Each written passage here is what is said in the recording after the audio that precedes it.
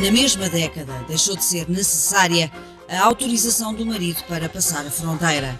Mas outras leis, mais estranhas, mantiveram-se até 1976, ano em que foi retirado ao homem o direito de violar a correspondência da mulher. Até 1975, o marido enganado podia matar a mulher apanhada em flagrante adultério. No máximo, era desterrado da comarca durante seis meses. Já o inverso, a mulher enganada que mata o marido enganador estava fora de causa. When you are near, everything's clear. Earth is a beautiful heaven. Mulher séria não andava à noite na rua sozinha, quanto mais de biquíni na praia durante o dia. A única praia onde havia mulheres de biquíni era o Tamariz, na zona de Lisboa, no Estoril, porque eram inglesas, estrangeiras, eram um, um reduto.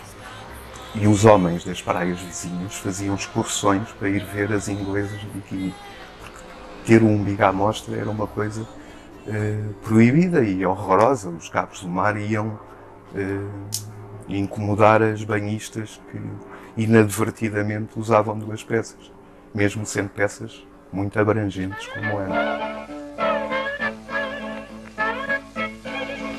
Os placares à entrada das praias regulamentavam a indumentária.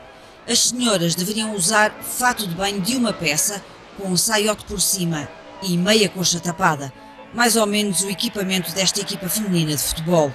Na escola também havia normas de conduta. Elas tinham que usar a bata e a saia até meio do joelho, não podia aparecer o joelho todo. Havia contínuas que estavam à porta a regular esse comprimento e eu lembro-me que o que as raparigas faziam era, mal saíam do liceu, dobravam o cós da saia para as encurtar.